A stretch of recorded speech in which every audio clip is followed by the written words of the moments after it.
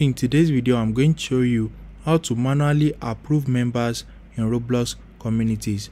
So the first thing is head over to roblox.com and you need to click on these three lines at the top left corner. Once you click on it, select communities. Right here in communities, click on the community that you created or that you want to manually approve the members. Once you select it, click on these three dots in front of the community name. After that, click on configure community. Right here in configure community, at the left hand side, click on settings. Under settings, you are going to see manual approve, manual approval. So you need to turn it on. So now anybody that wants to join your community will have to send a invitation and you can now approve it and you can also decline it.